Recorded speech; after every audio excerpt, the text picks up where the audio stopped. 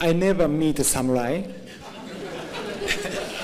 so I don't know that is true, but I think Japanese man uh, is uh, never give up and strong mentality and we have good discipline.